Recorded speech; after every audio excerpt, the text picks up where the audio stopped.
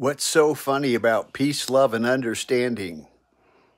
Uh, not a heck of a lot, I guess. But but what's so funny about the news? That's what I want to talk about today. And we're going to watch the news. I'm not going to play the news. I'll just have the captions on here. So let's check it out. What's in the news tonight? Here's David Muir with ABC News. And he's telling us the hot stories, the dangerous heat wave. That's every night. every night we have weather problems, hurricanes, tornadoes, or heat wave.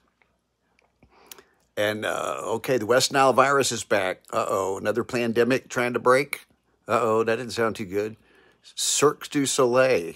You know, when, it, when it's hot, folks, turn on the air conditioner. Or like that guy did, put some cold rags on your head or, or drink a milkshake or something. But deadly heat storms, yeah, that can that can be a, a, disaster. It can be a problem. But hey, I lived in Phoenix, Arizona, where we used to hit 115 every day in the summer.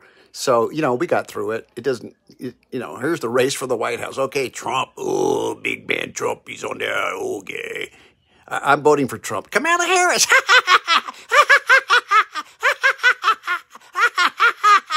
Ah, she's funny. She laughs all the time.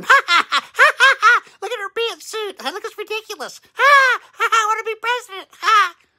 Okay, Russia launches launches a large air attack. Well, why wouldn't they? The United States has been slamming them and provoking them. So of course they got to fight back, wouldn't you? If they were over here attacking Panama or Puerto Rico or someplace in our area, we'd be fighting back too. Oh, high school. Oh, this is not too good. Fatally injured. Playing football? Uh, you know, I don't recommend football really. It's a dangerous sport. Even with all the helmets and pads, play soccer. It's much safer. Okay, the West Nile virus. Mosquito alert. Well, you better put on that DDT. Oh, wait, we're not supposed to use DDT. That's poison. Oh, what do you put on? Uh, uh, yeah, I don't know.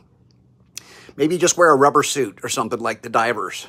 Space day extended for months. What does that mean? Ooh, look, she's in space. Her hair looked funny. Kamala Harris again. Uh, let's see, heart-stopping plunge. Did this guy die? A du Soleil? I always wondered when I saw those guys doing that stuff. You know, that looks pretty dangerous. Uh, you got to be a daredevil to want to do stuff like that. Keep America strong. America strong. America is not strong. Well, it's strong in some ways. We lead the world in obesity, okay? Got to give us that.